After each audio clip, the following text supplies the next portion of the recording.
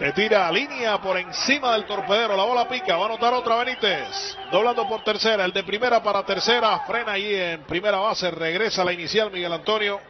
Su primer hit de la postemporada. Empuja carrera.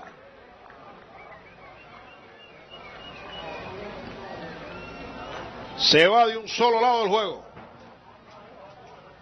Y sale Racing. Realmente no hay como un juego detrás del otro. Ya solamente quedan por empujar a Abreu y Benítez.